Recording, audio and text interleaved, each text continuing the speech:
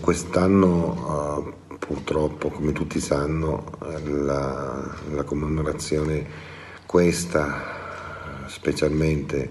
della seconda domenica di maggio, eh, verrà fatta nella forma eh, che purtroppo l'emergenza ci richiede. Eh, andremo io e il sindaco sul luogo a depositare sia al Sacrario dell'Ossario sia alla fossa comune che è poco distante, qualche centinaio di metri dall'Ossario, dove nel, come ho già detto prima nell'Ossario ci sono, raccol- sono stati raccolti tutti i resti dei caduti partigiani civili,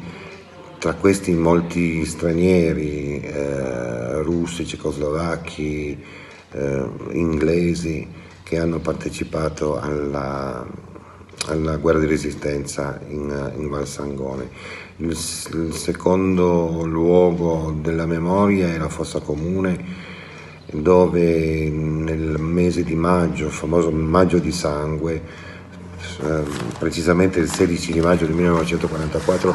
furono trucidati dopo aver fatto scavare questa fossa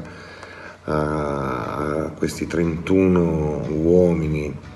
per la maggior parte partigiani ma anche comunque civili, eh, appunto ven- è, sta- è, stata fatta scavare questa fossa e poi eh, sono stati mitragliati alle gambe e lasciati morire dissanguati.